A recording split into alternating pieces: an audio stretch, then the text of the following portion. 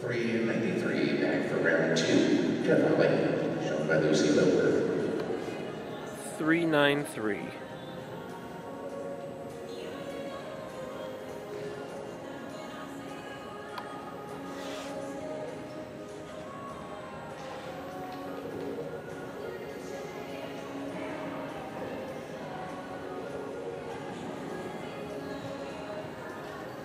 Mm.